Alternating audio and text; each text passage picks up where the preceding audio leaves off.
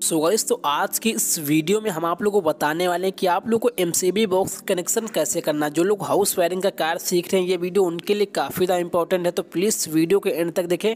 अगर आज की वीडियो आप लोग ये पूरी कंप्लीट देखते हैं तो आप लोग के मन में कोई भी क्वेश्चन नहीं पूछेगा कि एमसीबी बॉक्स के कनेक्शन कैसे करें। तो प्लीज़ वीडियो को एंड तक देखें ताकि आप लोग को अच्छे से जानकारी हो जाए, आप लोग समझ जाएँ और अपने घर पर एमसीबी बॉक्स का कनेक्शन कर सकते कहीं पर आप लोग वायरिंग कर रहे हैं, वहाँ भी आप लोग अच्छे से कर सकते कोई भी प्रॉब्लम आपको नहीं है।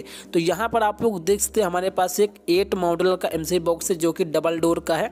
और यहाँ पर हमने इसके पेज को खोल लिया है और आप लोग देख सकते हैं कि हमको कुछ ऐसा बॉक्स मिल जाता है। इस बॉक्स को अपने हम दीवार में फिट करते हैं। फिर उसके बाद आपको बताते हैं कि आपको इसके कनेक्शन कैसे करना है। यहाँ पर जो आप लोग चार होल देख रहे हैं, इसी से हम इसको फिट कर देंगे अपने ड्रिल मशीन से चेंज कर तो आप लोग देख सकते हैं कि हमने इसको अपने दीवार में फिट कर दिया है और यहाँ पर हमारे सभी वायर आ चुके हैं। अब आप लोग को यहाँ पर वायर को समझा देते तो जो आप लोग ब्लैक वाले वायर देख रहे हैं दो वायर। ये हमारे वायर न्यूट्रल के वायर हैं। और जो आप लोग येलो वाला वायर और रेड वाले और एक ब्लैक वाला, जो आप लोग वायर देख रहे हैं हमारे लाइन के वायर हैं। और जो हमारा ग्रीन वाला वायर है, ये है हमारा इन्वर्टर का वायर, ठीक है? तो सबसे पहले हम फटाफट से एमसीबी लगा देंगे। हमारे घर पर जितना लोड है, हम उसी हिसाब से एमसीबी लगाएँगे।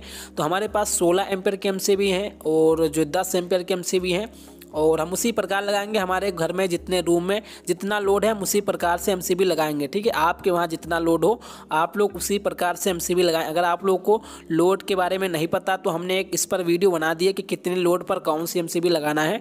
वो वीडियो आप लोग को आई बटन में मिल जाएगी तो आप लोग वहाँ से जाकर देख सकते हैं और आप लोग को अच्छे से जानकारी हो जाएगी कितने लोड पर कौन सी एम लगाना है। तो आप लोग उसी प्रकार एमसीबी लगा सकते हैं। तो यहाँ पर आप लोग देख सकते हैं कि हमने इसमें पाँच एम लगा दिया है और एक इंसुलेटर लगा दिया ठीक है? है क्योंकि हमारे पाँच रूम है तो पाँच एम से भी हमने इसको यहाँ पर लगा दिया है। और हमारा एक इंसुलेटर लगा है, जिससे हम अपना ऑन ऑफ़ करेंगे, ठीक है? जो हमारा न्यूट्रल वाला पॉइंट होता है, इसको हम जोड़ देंगे न्यूट्रल वाले पॉइंट में, ठीक है? तो हमारे एमसीबी में न्यूट्रल वाला पॉइंट आप लोग ऊपर देख सकते बना हुआ है।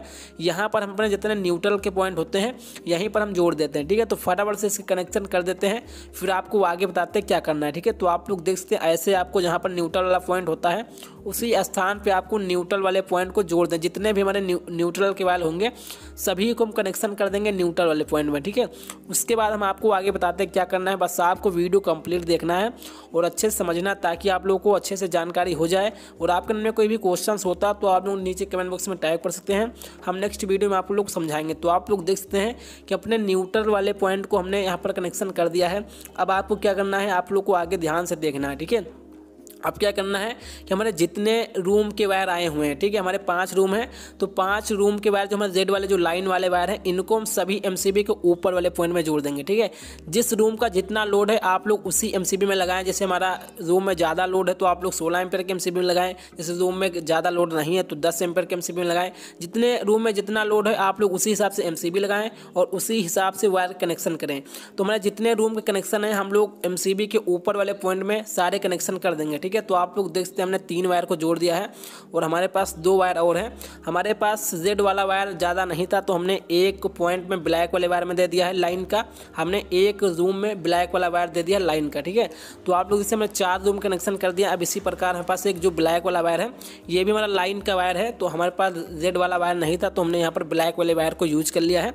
और आप लोग देखते हैं कि हमारे जितने रूम थे, हमने सभी रूम का कनेक्शन एमसीबी के ऊपर वाले पॉइंट में कर दिया। हमारे पास पाँच रूम थे, हमने पाँच रूम का कनेक्शन एक एक एम में कर दिया पाँच एम में, ठीक? अब आपको क्या करना है? आपको ध्यान से देखना है, ठीक है? जो वायर हमारा इन्वर्टर वाला था, उसमें हम टेपिंग लगाकर इसको छोड़ दिया क्योंकि अभी हमारे पास इन्वर्टर नहीं है तो इसका कनेक्शन नहीं करना है। और आप लोग को इन्वर्टर पर वीडियो चाहिए तो आप लोग नीचे कमेंट बॉक्स में टाइप कीजिए, हम इस पर भी आप लोग को वीडियो बनाएँगे। अब जो हमारा इंसुलेटर होता है, उसके नीचे वाले पॉइंट में हमको लाइन और न्यूट्रल का कनेक्शन करना है।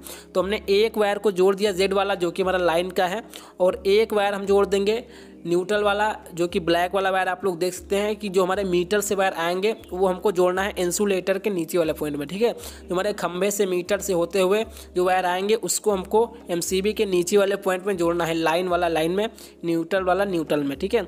अब क्या करना है कि इंसुलेटर के ऊपर वाले पॉइंट में हमको लाइन वाले में लाइन जोड़ना है और न्यूट्रल वाले में न्यूट्रल जोड़ना है। तो जो हम लाइन वाला वायर जोड़ेंगे इंसुलेटर में, उसको जोड़ देंगे एमसीबी के नीचे वाले पॉइंट में, ठीक है?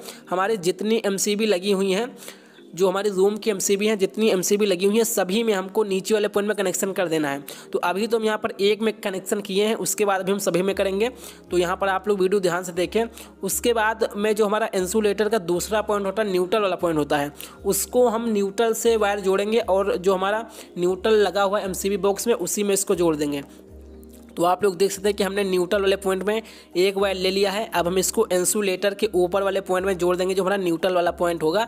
इंसुलेटर का उसमें इसको जोड़ देंगे, ठीक है? हमने लाइन वाला पॉइंट जो जोड़ दिया एमसीबी के नीचे वाले में, और जो हमारा न्यूट्रल वाला पॉइंट है, उसको हमने न्यूट्रल में जोड़ दिया, जहाँ पर हमने न्यूट्रल वाले वायर को जोड़ा था। तो आप लोग देख सकते हैं, हमारे सारे कनेक्शन एकदम अच्छे से हो चुके हैं।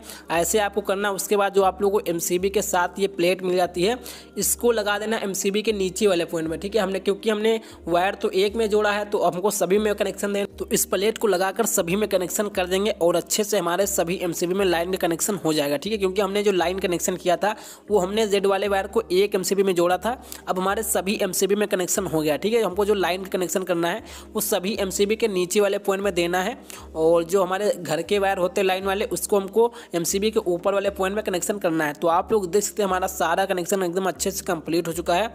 अब जो हमारे इंसुलेटर में जो दो नीचे पॉइंट निकले हुए हैं, जो हमने दो वायर को जोड़ दिया नीचे वाले। अब इनको जोड़ देना अपने मीटर में, बस हमारा एकदम लाइन चालू हो जाएगा, ठीक है? तो आप लोग देख सकते हैं कि हमने सभी एमसीबी को एकदम अच्छे से लगा दिया है, और हमने अब सभी एमसीबी को ऑन कर दिया है, और हमारे सभी रूम के कनेक्शन हो चुके हैं। और यहाँ पर जो हमारा इंसुलेटर वाला वायर है, इसको हम एमसीबी बॉक्स से बाहर निकाल लेंगे, और अपने इसको मीटर में जोड़ देंगे, ठीक है? जो जो आप लोग वायर देख रहे हैं, इसको बस हमको मीटर में जोड़ना, बस हमारा एकदम लाइन इसमें चालू हो जाएगा, और हमने सभी रूम के एम अलग अलग कर दिए, हमारे पाँच रूम है। तो हमने पाँच एम को लगा दिया। ठीक है, अब आप लोग देख सकते हैं कि हम इस वायर को अपने एमसी बॉक्स से बाहर निकाल लेंगे और इसको फटाफट से मीटर में कनेक्शन कर देंगे। बस उसके बाद आपको लाइन चालू कर देंगे, बस हमारा एमसी बॉक्स कनेक्शन हो गया। आप लोग को ऐसे एमसी बॉक्स कनेक्शन करना है, कोई भी दिक्कत, परेशानी आपको नहीं है। आप लोग के मन में कोई भी अगर क्वेश्चन आता है तो आप लोग नीचे कमेंट बॉक्स में टाइप कर सकते हैं। हम नेक्स्ट वीडियो में अच्छे समझाने की कोशिश करेंगे। तो यहाँ पर हम वायर ना देखें, इसके लिए हम फ्लेक्सिबल पाइप को यूज़ कर रहे हैं। तो आप लोग इसको यूज़ कर सकते हैं, कोई भी प्रॉब्लम आपको नहीं है। और जब आप लोग इसको लगा दोगे तो थोड़ा दिखने में सुंदर लगेगा। तो यहाँ पर हम फ्लेक्सिबल पाइप का यूज़ कर रहे हैं। उसके बाद हम इसको जोड़ देंगे फटाफट से अपने मीटर में, ठीक है? तो यहाँ पर हमारा मीटर लगेगा तो इसको मीटर में जोड़ देंगे। तब तक के लिए अपने इस बॉक्स को भी हम बंद कर देंगे, ठीक है? जो हमारा इसका दरवाज़ा होता है, इसके बाद हमको इस दरवाजे को लगाना होता है। तो यहाँ पर जब हमारा कनेक्शन सारा कंप्लीट हो जाए, उसके बाद हमको इस दरवाजे को लगा देना है और अच्छे से पेंच जो हमको इसके साथ मिल जाते हैं, उसको लगाकर फुल टाइट कर देना है, ठीक है? तो यहाँ पर जो हमको इसके साथ पेंच मिले हुए हैं, इसको अच्छे से लगाकर फुल टाइट कर देंगे। बस हमारा एमसीबी बॉक्स कनेक्शन कंप्लीट हो जाएगा। आप लोग ऐसे कर सकते सकते हैं, कोई भी दिक्कत, परेशानी आपको नहीं है। तो यहाँ पर फटाफट से इसको टाइट कर देते हैं। तो आप लोग देख सकते हमने एक पेंच को लगा दिया, इसी प्रकार अपने दोनों पेंच को लगाकर अच्छे से फुल टाइट कर देंगे। तो आप लोग देख सकते हैं कि हमने यहाँ पर स्क्रू ले लिया है। अब ऐसे आपको टाइट करना है। आपको कोई भी पेंच जरा सा भी ढीला नहीं छोड़ना, एकदम अच्छे से फुल टाइट कर देना है, ताकि आपको बाद में कोई प्रॉब्लम ना हो और बाद में कोई पेंच हमारा ढीला ना हो, ठीक है? हम इसको अच्छे से फटाफट से कर देते हैं और बस हमारा एकदम अच्छे से कंप्लीट हो जाएगा। तो आप लोग देख सकते हैं, हमारा एकदम अच्छे से कंप्लीट हो चुका है। अब अपने दरवाजे को बंद कर देते हैं, बस हमारा एकदम कंप्लीट हो चुका। तो आप लोग ऐसे एमसी बॉक्स की वायरिंग कर सकते हैं। आपके मन में अगर कोई भी क्वेश्चन हो तो आप लोग नीचे कमेंट बॉक्स में ज़रूर टाइप करें। हम नेक्स्ट वीडियो में इससे अच्छा समझाने की कोशिश करेंगे। और आशा करता हूँ कि आप लोग को मेरी वीडियो पसंद आई हो। अगर आप लोगों को पसंद आई हो तो प्लीज़ वीडियो को लाइक करें चैनल को सब्सक्राइब करें। क्योंकि आप लोग को ऐसे इलेक्ट्रीशियन और एक्सपेरिमेंट वीडियो मिलती रहेंगी। बहुत बहुत धन्यवाद जय हिंद।